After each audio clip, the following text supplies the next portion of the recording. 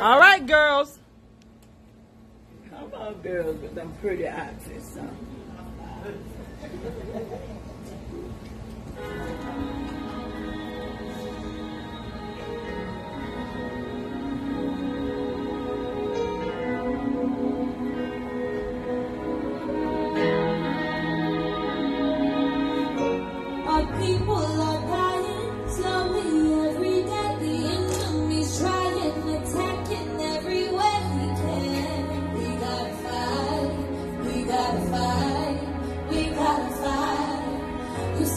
this generation.